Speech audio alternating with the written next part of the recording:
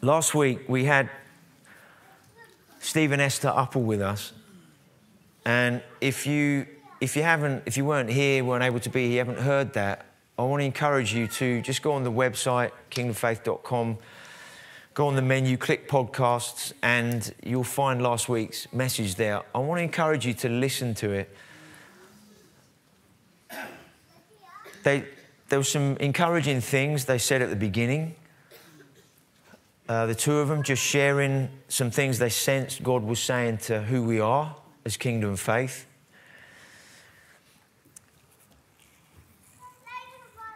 One of the things that Esther said was in the worship, she was reminded the, the picture where Jesus sent the disciples to collect the colt, to then who was going to then carry Jesus into Jerusalem. And when they untied the colt, they were told to say to the people, if they asked you, what, why do you want it? And they were to say, because someone, because he has need of it. And she felt God was saying that for us, um, God has need of us as kingdom faith. She was saying various other things with that. And Steve also kind of connecting with that also said that the time that we're just in the beginning of is the very reason that kingdom faith was in existence for. And even though we've had many decades of fruitful ministry and everything that God's done in the history of kingdom faith, he had this same sense that you're, you're, you're now coming right to the time of the reason that you, God has brought you into, into being. And that's quite a, a huge thing to say when you think about the history. If you don't know the history, I haven't got time to go into it. Um, but God's done a lot in 40 or 50 years through Pastor Colin, who's now with the Lord, through Kingdom Faith, and everything that it's represented in who we are as a people. And in Haggai, it talks about two glories one in the former house, the second in the latter house. And it says in there that in the latter house, the, the, the latter glory will overtake and surpass the former. And, and that's what God does because God is the glory. And God always moves from one generation to the next. He always wants to increase and go beyond what He's done in one generation. And so we need to understand that, as we know, God is a generational God and He works generationally. But so when you have, you know, guys like that, they come and encourage us and they say things like that. And if you listen to the next few minutes of the message, of what Steve was saying, the importance of being ready now in the day and the hour that we're in. And we're going to look at Ephesians 3. That's the, the, the, first half of it. That's where we are at the moment in the autumn, going through the book of Ephesians. I'm going to read some of it, make a couple of comments, but then also just do a very simple kind of overview uh, from Genesis to now, if you like. Uh, succinctly just to help us really understand some things, the importance of what, what God is doing at this moment, but also put into a little bit of context what's happening also in the Middle East. It's so important that we understand the story in here. We understand what God is doing and what God is saying. It's really important that we don't get our narrative of what is happening by watching Sky News, BBC News, GB News, social media, all of those things. It's, we obviously we need to know what is going on and what is happening because we need to be informed so that we pray. If we don't understand what God is doing and where we are at this point in history, it's very easy to one get confused Two, start forming opinions from everybody else's opinions and thoughts. Three, you'll start falling out with other Christians. COVID was a little blip along the way, and many people fell out with each other. And what it exposed was the immaturity in the body of Christ. And I'm not being negative here, But when you read the story, especially when you get more towards the end into Revelation, and you see what starts going on in the earth, it's, it's very, very challenging to your natural mind as to what is going on.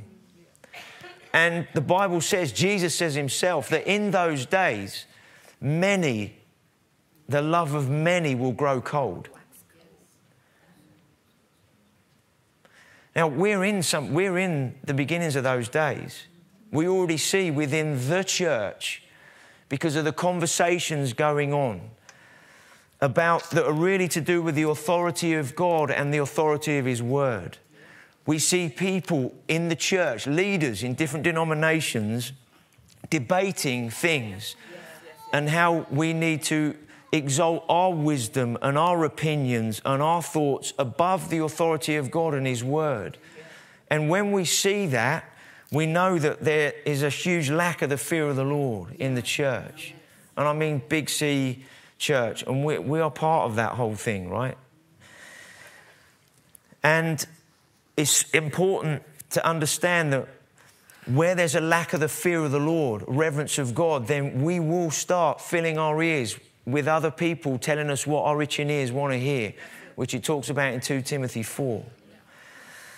So we are, we are living in days where, and if there's no fear of the Lord and we start doing that, our own opinions and wisdom above God, then we know that the love of many is already beginning to grow cold. Because if our hearts burned with Him and for Him, I'm talking generally as the church, right? If our hearts as the church burn for Him in the way that He wants to, there'd be a fear of the Lord. We wouldn't dare even consider in whatever area of life it is, dare to think that we could exalt ourselves or the word or our opinions over the word of God. And so there, there, there, needs to be a humility, a humbling in our own lives and hearts as the church in this nation to humble ourselves afresh before God, to bring ourselves under his lordship in a fresh way. Pastor Colin used to say this that we cannot make the gospel acceptable to people. But it's the gospel that makes us acceptable to God. So we're living in days and times where if we just look at the natural, at a natural level, we'll form all kinds of opinions and thoughts about what's right, what's wrong, and all of that. And there are challenging days ahead. What's going on in the Middle East at this moment is, is far beyond anything that's happened in recent history, but it's, it's still a skirmish in relation to what is going to be happening on the earth.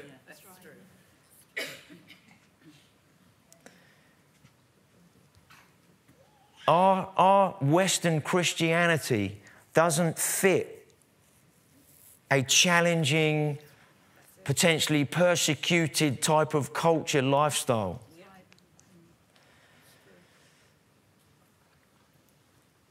Welcome to church this morning. um, that's a bit heavy, Clive, aren't you? Wow, what side of bed did you get out of this morning? I believe God wants us to have a little, you know, in our lives at this time as to what is going on, okay? That we don't just form our opinions about what we think is going on in the Middle East or with Israel, what we think they should or shouldn't be doing, and, um, and all of that kind of stuff.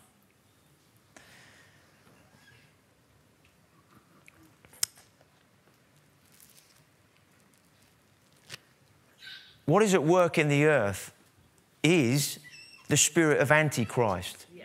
And some of you are going to, oh, he's going to go off the deep end here this morning, flipping heck. But you see, what is behind anti Semitism is the spirit of Antichrist. What is going on at this moment and in, in the Middle East? It's, it's the spirit of Antichrist, really, that's at work. What does that want to do? It's called anti Semitism in this context. It wants to wipe the Jewish people off the map. That's the spirit of anti Semitism. It's not just a few horrible words towards Jewish people, it's death and destruction. We want to remove them from the face of the planet. It's the spirit of Antichrist. Why is that? Because the devil hates anything connected with God. The devil hates the Jewish people. He hates you and me. He hates everyone.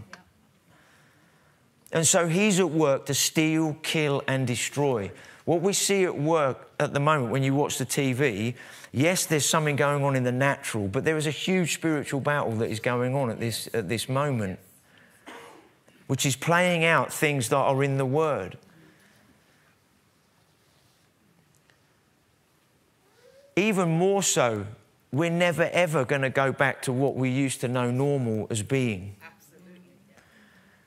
A very comfortable, peaceable, on the whole, culture, society. Yes, we have a few problems here and there, but life goes on. We're like, you know, we, we eat, drink, and be merry, and we're going after this, that, and the other. There's day, the days that we're in, there's, there's no longer time for living like that in the days that we're in. And things are only going to accelerate and light and dark are only going to become even more obvious. So let's just jump into um, Ephesians 3, otherwise, we're not going to get there. Um, let's just read this. I'm reading in the, uh, the Truth version.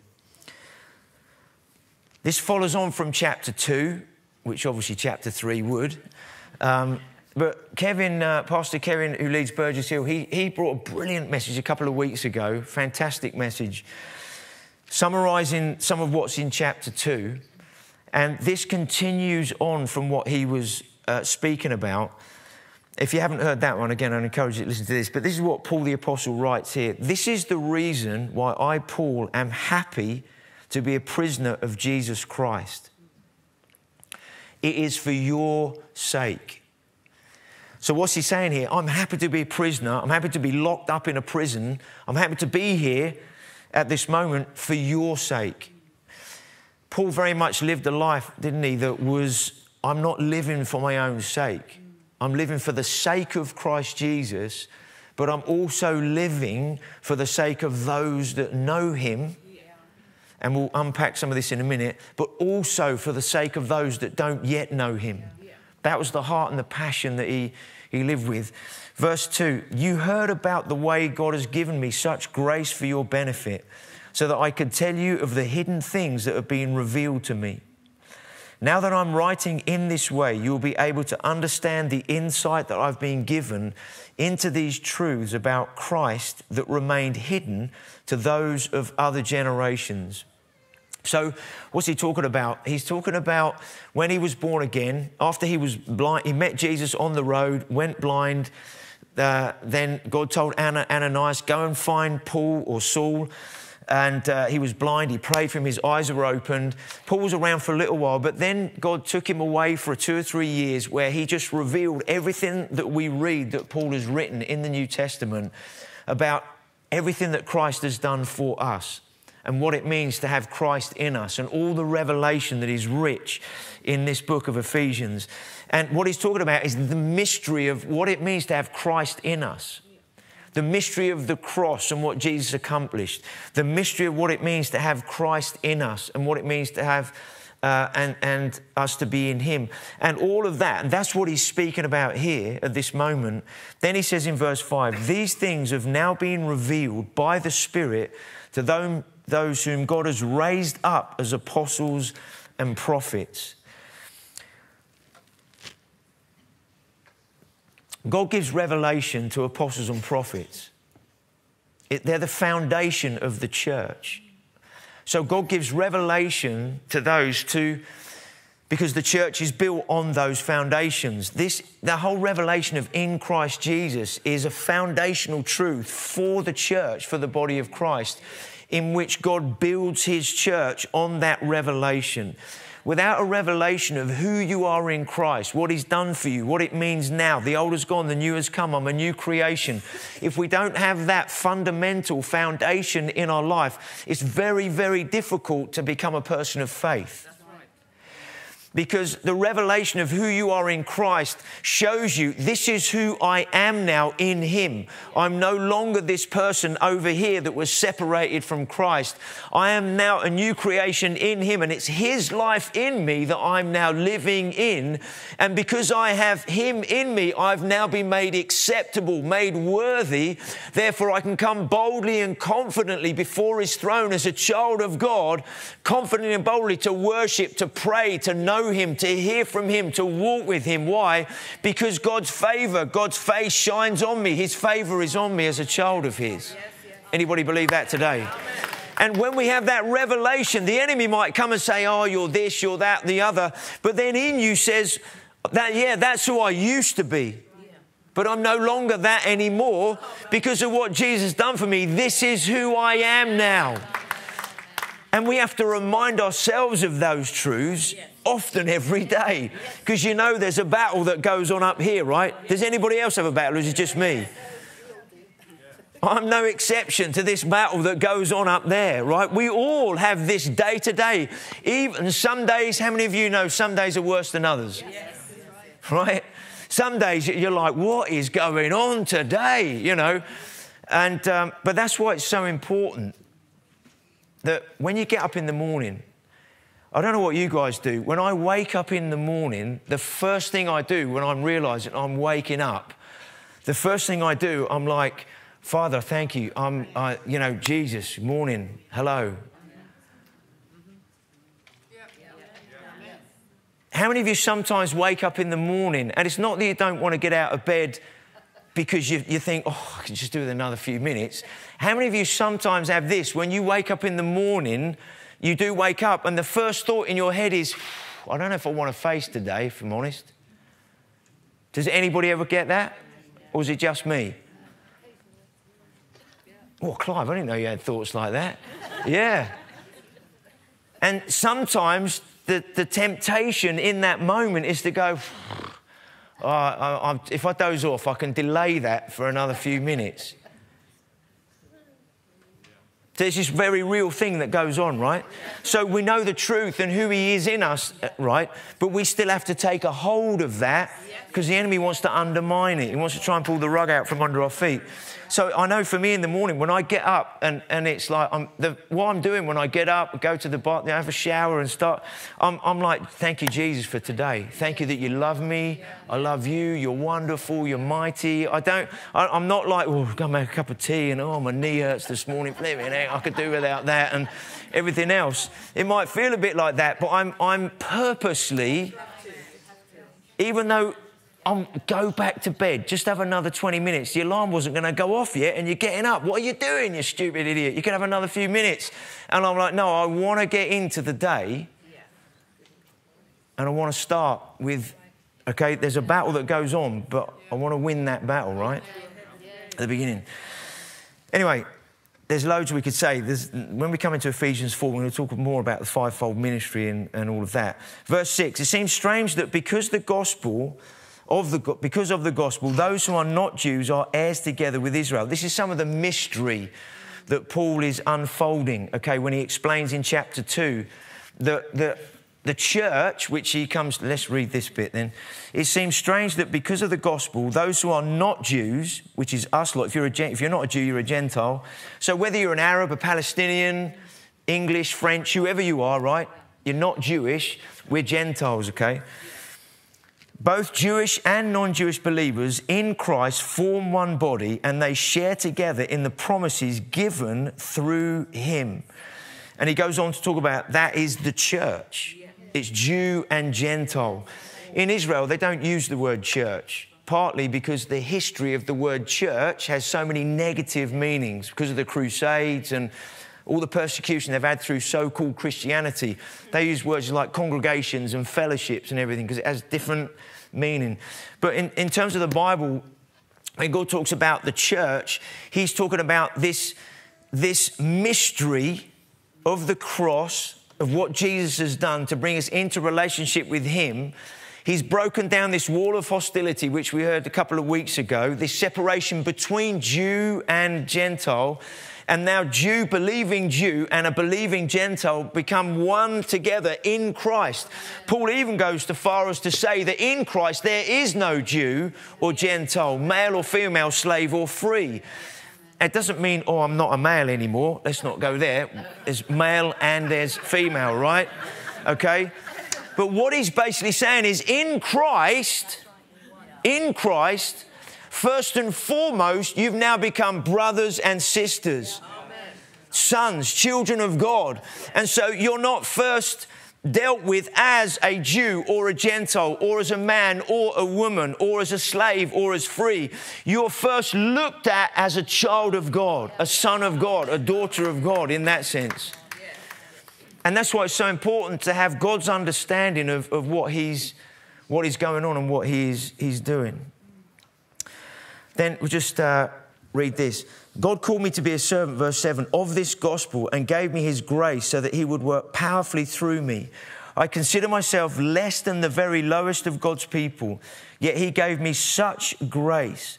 He enabled me to preach the gospel to the Gentile nations, telling them of the immense riches of Christ. I have been able to explain to everyone those things that formerly remained hidden in the purposes of God who created everything. His plan has always been that now his great wisdom should be revealed through the church, Jew and Gentile. The church in God's mind is Jew and Gentile. Okay? One new man in Christ. Through the church, his people, that the church should declare these truths even to the heavenly rulers and authorities. So, Paul is saying here, he's saying there are hidden things, these mysteries that are being revealed that I have been telling you.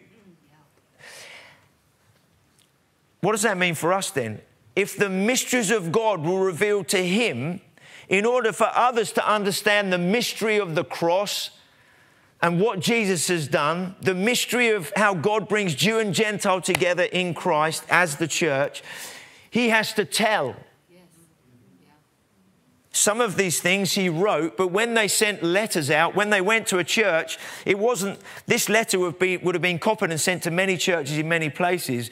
When they would get there, they would read it out, all the teaching of Paul, they would read it to the people. So even though he wrote it, it's still to tell everyone. Now, in order for people that you and I know that don't know Jesus, in order to understand the mystery of who Jesus is, because for somebody who doesn't know Jesus, he's a mystery. They don't get it, they don't understand it. How many of you know before you came to know Jesus, you didn't understand what it was all about. And maybe half the time you think, I'm still learning what it means. And that's the journey that we're on. The day you got saved, the day you gave your life to Jesus, He put the fullness of who He is in you. And now we're spending the rest of our lives discovering what it means to live in the good of what He did then. Right? And, and helping others to come into that. So, in order for others to understand the mystery, we have to tell, we have to share it.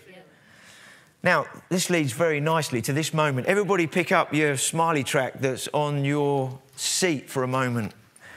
Okay. We have Eric Casto around for six, seven weeks at the moment. He's in Crawley this morning speaking over there. There was an outreach yesterday in Crawley Town Centre. Loads of people heard the gospel, conversations, people were getting prayed with and prayed for, for different things in different ways.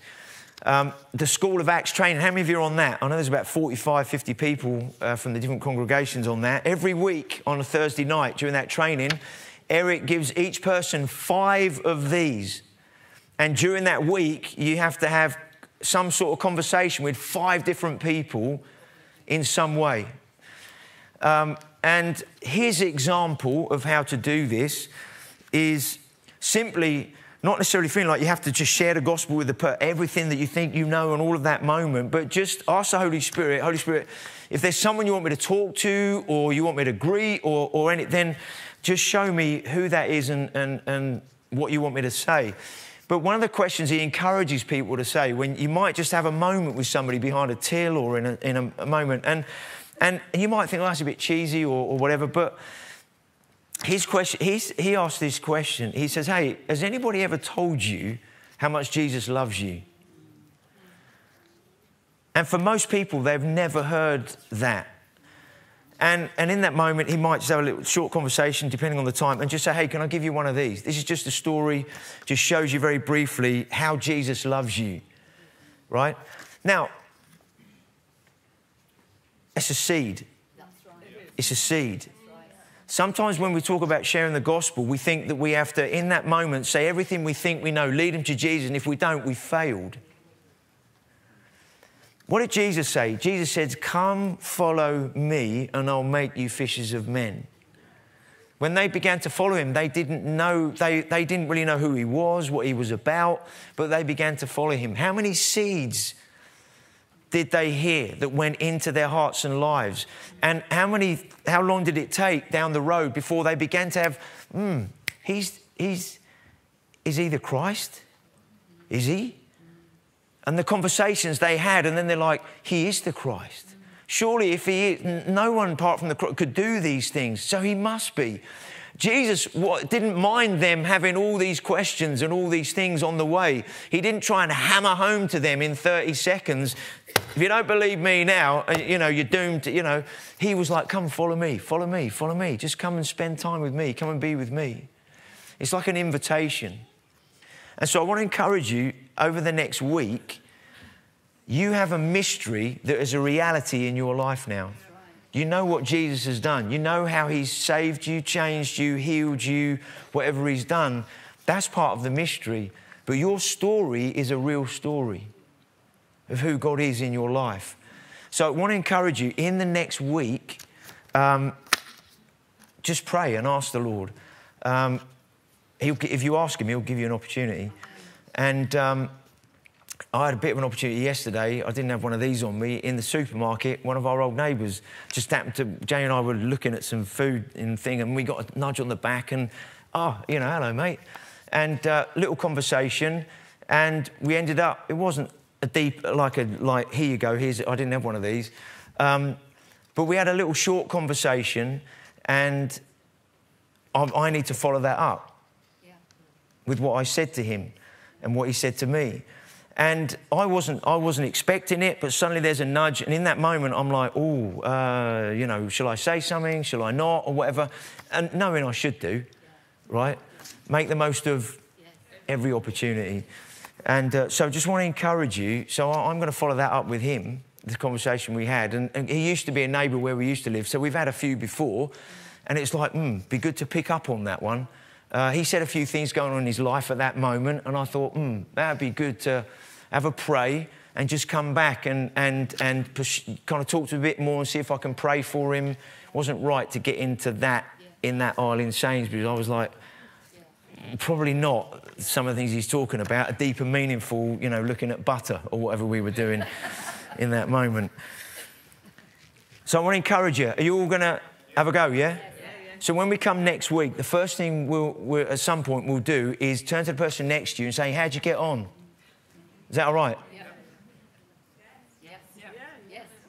Yes. Don't, don't decide to stay at home and watch it on the stream next week, all right, because of that. So, you know, this is good for you. All right, few minutes.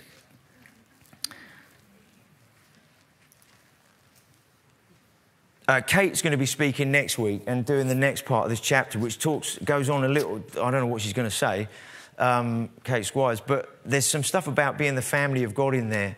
Now, in a, in a few minutes, I just want to give a really, really simple overview to the Bible, okay, in about five minutes. Is that okay? um, and it fits in with what we're saying here. What, what I believe God wants us to look at this mystery. Part of the sharing the gospel is not just what happens here what, did, what does he say here about the purpose of the church declaring to principalities and powers? You know, when we speak the name of Jesus, when we declare the gospel, when we declare who he is, there's something going on in the spirit.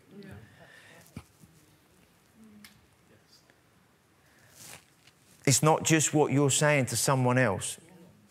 Imagine the church mobilized, not just ours, but many churches mobilized, sharing the gospel, speaking about Jesus, giving our stories and testimony. This is the church then on the earth declaring to everything out there that we don't necessarily see, declaring Jesus is the Christ. He is the Savior. He is the Lord of heaven and earth. He is the one that we're here to proclaim as the church on the earth. Now, really briefly, okay? How many of you know you have God's kingdom in you? How many of you know that when Jesus came, he came, what did he say? The first things we hear at the beginning of the Gospels are repent for the kingdom of, God. kingdom of heaven is at hand, okay? When did that kingdom start? It's never had a beginning, it has always been. Father, Son, Holy Spirit in relationship together because Jesus is the King of Kings. He's the Lord of Lords. When, he, when, he, when they said, Teach us how to pray, what did he say? He said, Our Father, relationships, Father. If there's a Father, there must be children. Hallowed be your name, reverence, awe, fear of the Lord. Then what did he say? Your kingdom, your will be on as it is in. Right, where? On Okay, so Jesus is carrying on something that began on earth in Genesis. Yeah. So God is in his kingdom before anything's created down here. He's in his kingdom, the whole host of heaven worshiping him. It's, going, it's been going on, our minds can't get our heads around this, right? Because it's outside of time. Lucifer was the worship leader in heaven. Isaiah and other places describing the gemstones, the beauty, and how, how he looked at one moment, at some point there in eternity that way, um, he has this thought I want, every, I want everything in heaven to worship me. At that moment, he was thrown out of heaven. That's when Jesus says, I saw Satan fall like lightning out of heaven. It, there was no pastoral conversation where God said to the Lucifer, Do you want to come into my office for a minute? I, I you had a bit of a thought then. I, I noticed in the worship you started to sing about yourself and not me. Didn't even get that far. It was a thought in his mind, and boom, he was out. He was thrown down here, right? God brings creation into being. As part of that, he creates mankind. What does he say in Genesis chapter 1? He created them in his image, male and female. Then he says in verse 28 of chapter 1 God blessed them and said to them, Be fruitful and increase in number, fill the earth and subdue it. Rule over the fish and the. Okay? Now, God is Father, Son, Holy Spirit, relational. Yeah. There's a kingdom, His kingdom. His kingdom is a relational kingdom. His kingdom, as we see here, is a kingdom made up of a family. His family are those that know him and walk with him. Yes. What does he say? He gives them a kingdom mandate in, in Genesis 1:28. He blesses them and be fruitful, increase, and fill the earth. Fill the earth with what? Fill the earth with God's glory. Go and take the kingdom, this relational kingdom, and I want you to take it to the ends of the earth. Fill the earth, right? Fill the earth with who? With people, with family. So God's purpose was to fill the earth with a family of people that were in relationship with Him. So that His kingdom rule and reign could be on earth as it is in heaven, okay? Now, the enemy didn't like the fact that God had. He, who, who, who do those people think they are? What does God think He's doing? Creating them and giving them dominion over what I think is mine. So he deceives them, they sin, there's separation. And instead of God's glory and kingdom going throughout the earth, instead sin fills the earth. God gets to this is a real quick summary now, right? Ready? So the earth thing gets full of sin. God gets to the point where he's like, this is not working, I'm going to start again. He finds a man, Noah, who was a righteous man. He says, build an ark there's a whole other thing here. Build an ark. How long did it take them to build an ark?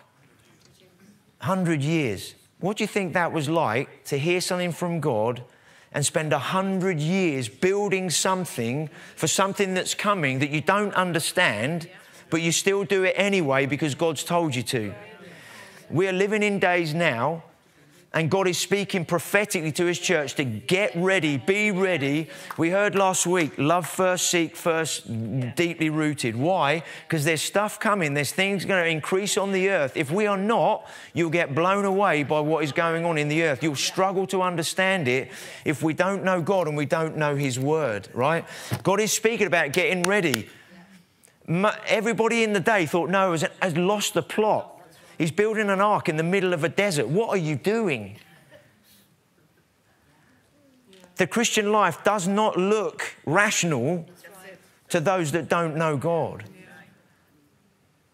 But God's speaking to us. Make sure you're ready. Get the ark ready. Your, your life is an ark. Make sure your ark is ready. Oh, I'm going, I, I like to carry on for ages, but I can't. Um, um, after, after the ark was built, supernaturally, God brought all the animals there, right? Do you know the, uh, the door of the ark was then open for seven days afterwards before the rain started? Imagine that is God's heart for the people on the earth. He got everything ready and, and he didn't go, right now the animals, I'm going to get rid of this lot. He's like, Noah, leave it open for seven days because I want a last opportunity. Does anybody want to come and join the ark? This is God's love and God's heart for people. Anyway, they didn't. Flood happened. Other side of the flood, what happens? Noah's sons. let's, I'll have to accelerate here. I've got to do this in three minutes, right? So, um, the nations come from the sons of Noah. Yes. God speaks to Noah and his sons and makes a covenant with him. He says the same thing to Noah as he said to Adam and Eve. He blessed them, be fruitful, increasing number. If you go down to verses 7 and 8, it talks about the covenant he made with Noah more. So he's like, what is he doing? God wants to reestablish his kingdom on earth as it is in heaven. He's going to do it through family. Okay? Um, so, didn't deal with the sin issue. So, the, the nations come from his sons. Um, the, they decide they want to build a tower. Let's make a name for ourselves. God comes down, confuses them. This is where all the languages come from. They, they then spread out all over the earth, okay? But God loves people, God loves the nations. So what does He do? He raises up somebody called Abraham. And what does He say? Because God loves people, loves the nations. This is before Israel or the Jews were even around. God loves people, God loves the nations, okay? The Lord said to Abraham, Leave your country, this, that, and the other. He said, I'll make you into a great nation. We know that the nation that came from Abraham was the nation of Israel, the Jewish people, okay? But he also says, I'm going to bless all peoples on earth through you. Why? Because God loves nations, God loves people. But it's all about people, it's about family. When you, so, You've got Abraham, Isaac, and Jacob, generational. It's family. Each generation got the same promises from the previous one to continue on the purposes of God on earth, okay? God works through family. Jacob has 12 sons. They become the tribes of Israel. When they're in Egypt, that's when they become a nation. Let's jump to uh, kind of run through the Old Testament quickly. When they walked with God, they were blessed, and other nations were in fear with them. When they didn't walk with God, they were overrun, they weren't blessed. Okay?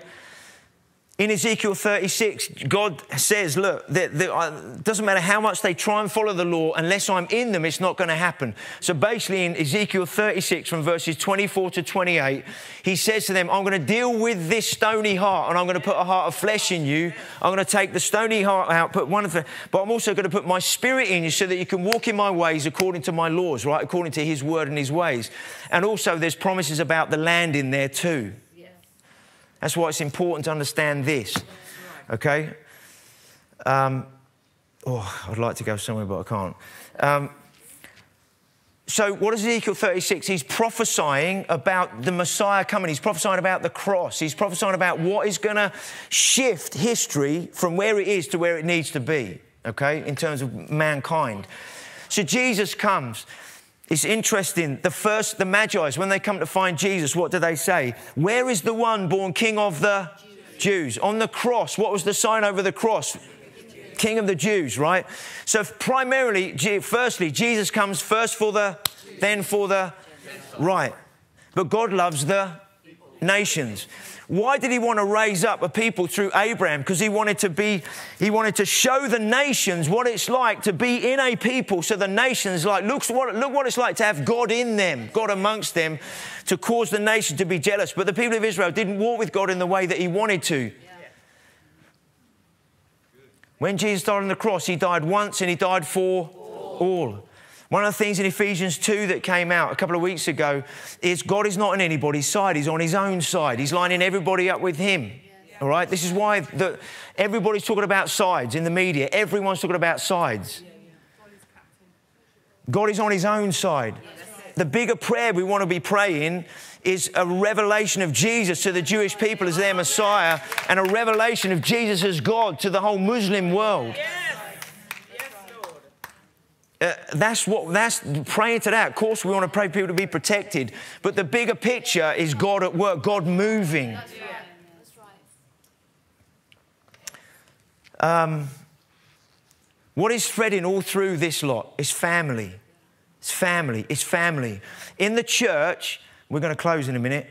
In the church, there's been so much focus on the last 15, 20 years about leadership, about models of church, structures, organizations, programs, all of that. When Jesus, when Jesus came, what was the last thing he said before he went up to heaven?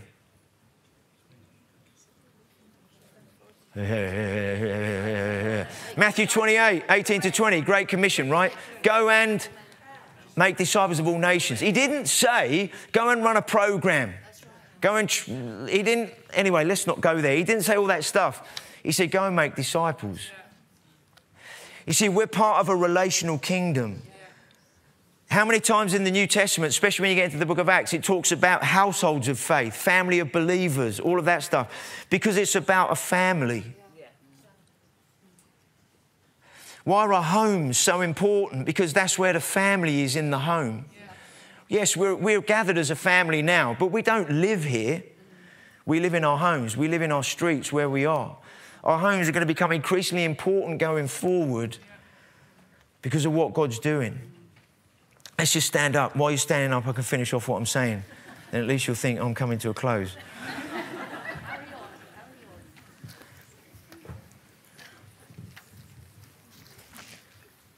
So we're, we're part of a kingdom and we're a kingdom family. It's a relational kingdom, first and foremost. But that relational kingdom has a purpose. If, well, not if, God always is about his kingdom. The, the Bible, let's put it this way this book has primarily become just a story of salvation for mankind. What do I mean by that? Often, when we hear somebody sum up the Bible, they say, God created man in his image to know him, we sinned, and therefore he ultimately then sent Jesus to sort it all out so that we could know him and go to heaven. End of story. Yeah. It's in there. That's part of the storyline. But this book is about God and his kingdom. Amen. It starts with his kingdom in the beginning. I'm going to create some people to work out my kingdom on earth as it is in heaven. In order to come into that kingdom, you have to be born again. Salvation is the doorway into the kingdom. Once you're in the kingdom, there's then work to do on earth because we're here to see God's kingdom come on earth as it is in heaven. So, salvation is the doorway into the kingdom. Then we become servants of the kingdom. And in the kingdom, there are loads of ambassadors of the kingdom. You and I, every one of us is an ambassador of the kingdom.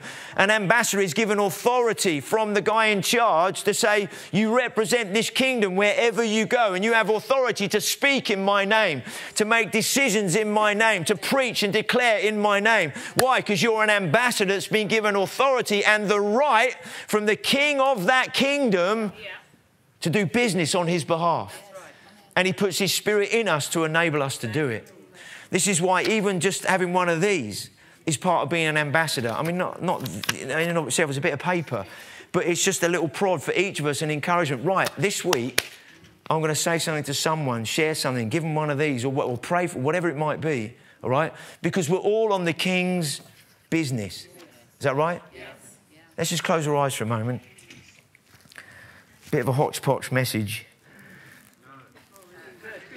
Into, no, don't. I'm not asking for a response. So, just close your eyes for a minute. Firstly, just thank the Lord that you're in His kingdom family. Just verbalize that. Thank Him that you're an ambassador. You're an ambassador of this kingdom. Just thank Him that, that there's work to do, and He's called you to be one of those ambassadorial workers for His kingdom purposes.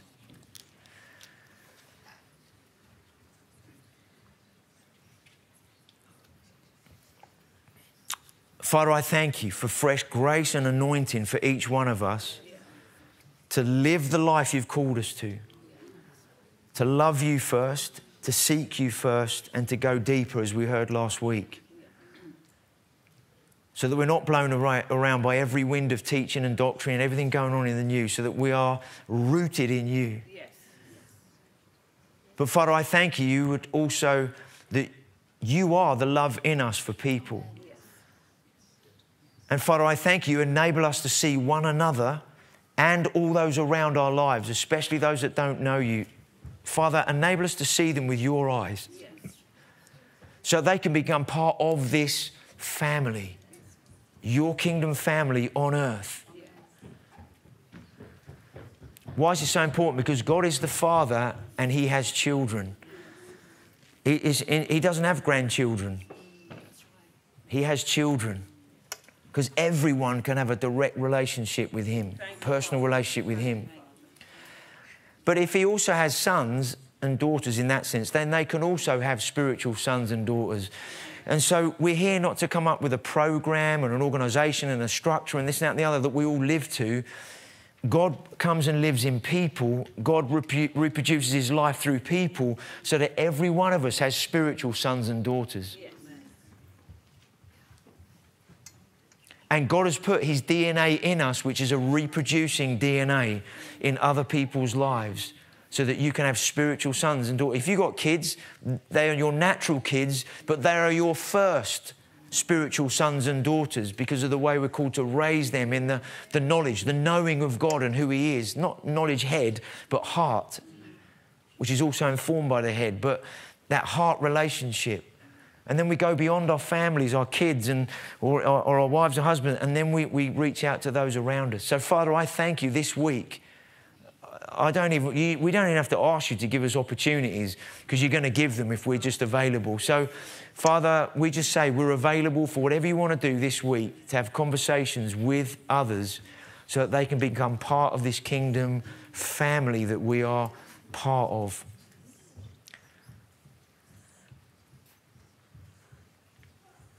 We thank you, Jesus. We praise your awesome name.